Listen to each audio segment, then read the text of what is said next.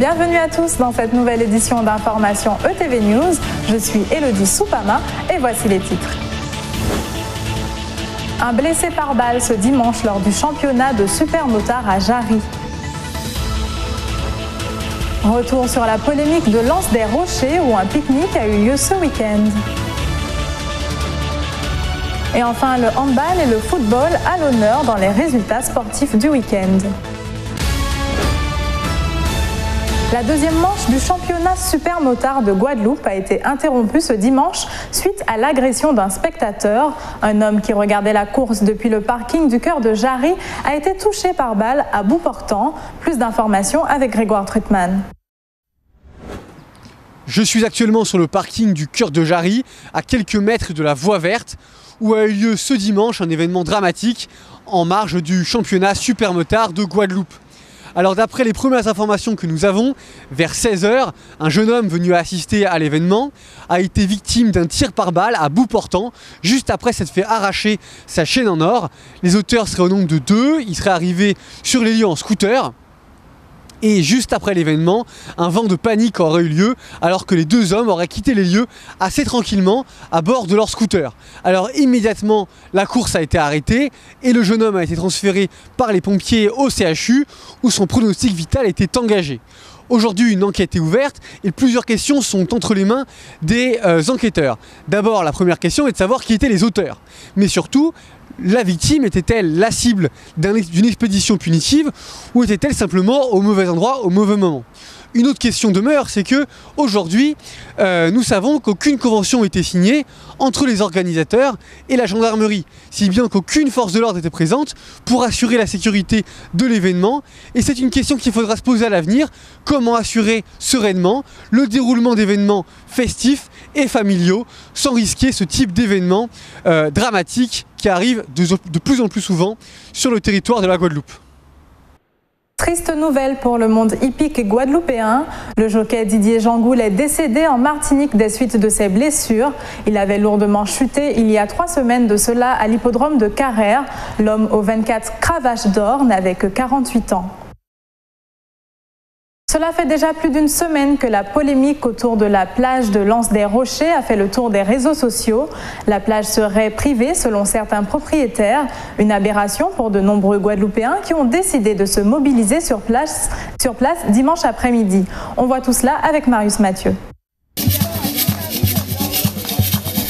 Des dizaines de Guadeloupéens de tout âge venus faire la fête sur la plage de Lance des Rochers dimanche dernier comme un pied de nez à la récente polémique. Le lundi de Pâques, Emmanuel et ses proches avaient été pris à partie sur une plage à Saint-François. Une riveraine résidente avait alors violemment protesté contre la présence de cette famille sur le site, prétendant qu'il s'agissait d'une plage privée. J'ai été chassée avec ma famille de la plage de Lance des Rochers. On nous a demandé de partir parce que ça n'était pas autorisé sur la plage et c'est ce qui m'a fait bondir, c'est ce qui a été aussi euh, le début de, de toute cette polémique euh, autour de l'accès aux plages en Guadeloupe. Je pense que c'était du racisme et de la discrimination. On a beaucoup parlé de Lance des Rochers, mais c'est quand même un problème récurrent. La plage de Lance des Rochers, la voici. Un coin de paradis ici sur l'archipel caribéen, doté de résidences flambant neuves. Problème, la population n'y serait pas la bienvenue, et son accès serait particulièrement difficile.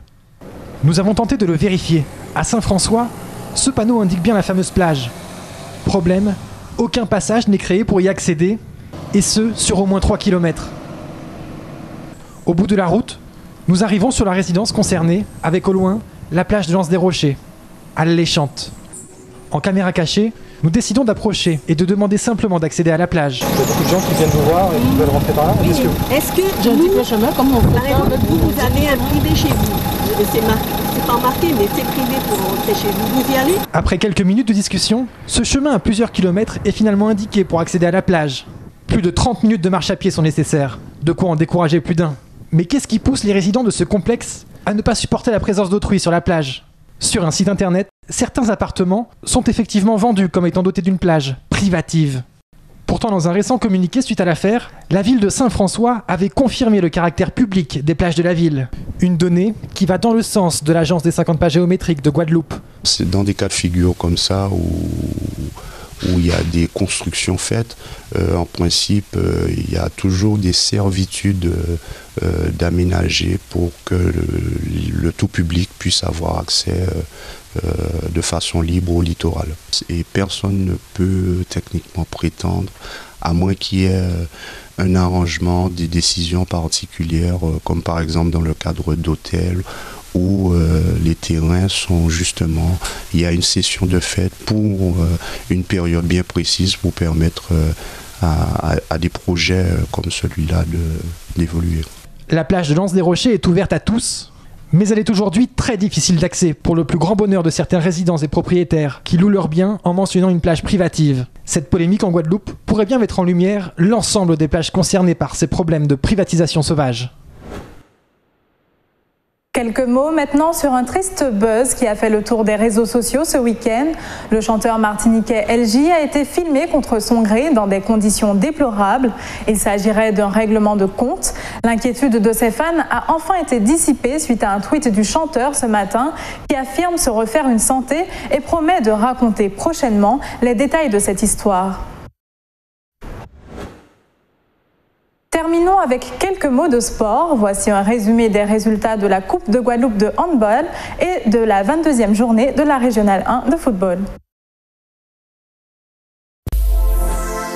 La finale féminine de la Coupe de Guadeloupe de handball a tenu les 500 spectateurs en haleine jusqu'au bout. Ce sont finalement les Saint-Anaises de l'Intrépide qui se sont imposées 30 à 27 contre les Normaliennes de l'Étoile pour la victoire.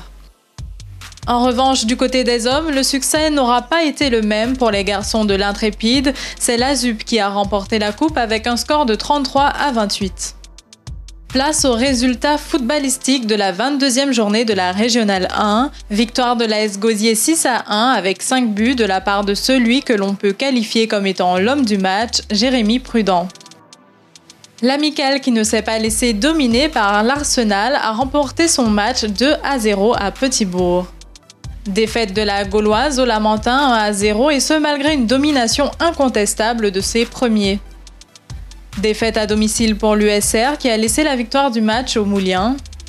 300 spectateurs étaient réunis à Mornalo, c'est donc face à un public bien présent que les Canaliens ont gagné le match ce samedi 3 à 0 face aux Mornaliens. Défaite écrasante de Sirocco contre l'USBM qui s'est imposé 4 à 0. Et pour finir, c'est Solidarité scolaire qui, de par sa supériorité technique, a fait la différence face à Lunar, victoire 2 à 1. C'est la fin de cette édition, mais avant de nous quitter, voici le rappel des titres. Un blessé par balle ce dimanche lors du championnat de supermotard à Jarry. Retour sur la polémique de Lance des Rochers. Qu'en est-il vraiment de ces rumeurs de privatisation? Et enfin, le handball et le football à l'honneur dans les résultats sportifs du week-end. Retrouvez votre journal en replay sur etv.gp. Merci à tous de nous avoir suivis. Quant à moi, je vous dis à demain sur ETV.